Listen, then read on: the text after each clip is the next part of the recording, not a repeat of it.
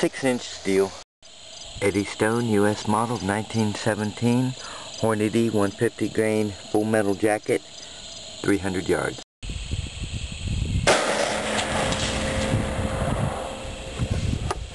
Love them corners.